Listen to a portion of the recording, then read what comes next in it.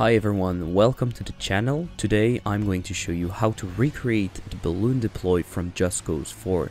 We are going to make the basic mechanic of attaching a balloon to an object using physics bodies and pin joints.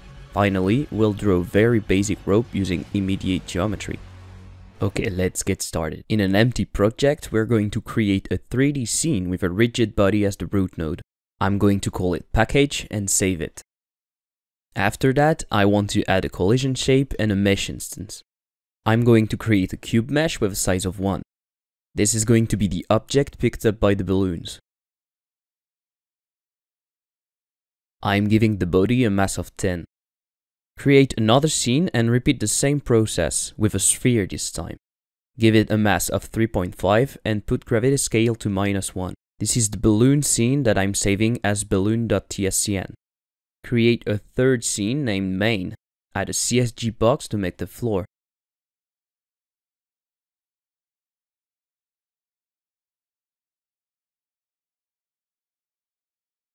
And don't forget to check use collision. Add a camera.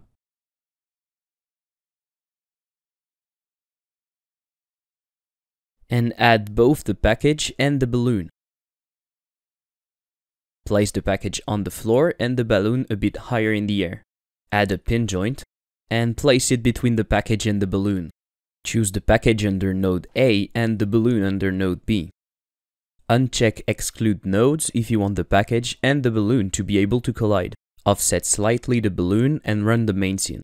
Okay, we see the balloons wants to go up and is attached to the package. It's not strong enough to lift the package yet because of the weights we set previously.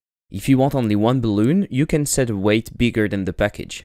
I want to use multiple balloons, so I'll keep it like that and add more balloons. Before that, add a spatial node as a child of the package. Move it slightly up, we're going to use that to spawn the balloon later. Now we want to add more, but we'll do it through a script, so add one to the main scene. We preload the balloon scene into a const variable named balloon. Under process, we instantiate a balloon and add it to the scene if we trigger the add action. We set its origin to the spawn point origin.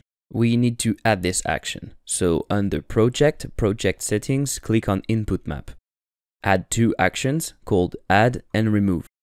Click the plus icon to choose an action. I'm going to use mouse left click to add and right click to remove. Now we instantiate a new pin joint and set its properties. Node A will be the instance path we just created, which is the new balloon, and node B is the package node path. We set it as a child of our scene. And finally we set its origin to the middle point between the balloon and the package. If we press the remove action, we get the nodes that are in the balloons group. We return if there's none, otherwise we remove the first one by calling queue_free. Go to the balloon scene, select the root node and on the right under node type balloons and add.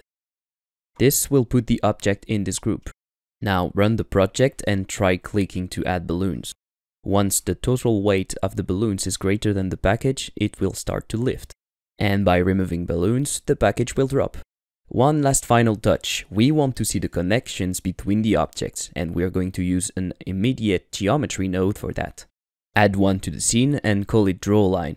At the end of the process function, we first create an array to hold the points. We take a reference to the drawLine object in the variable ig.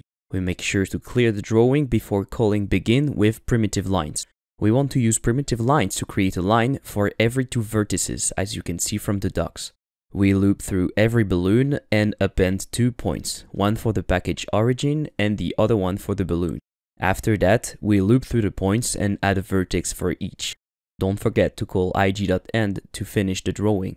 Alright, now if you run the project and add balloons, you'll see a line between each balloon and the package.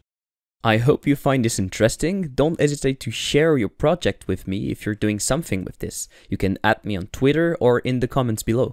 You'll find all the sources on my GitHub, link in the description. Thank you for watching, see you later, bye!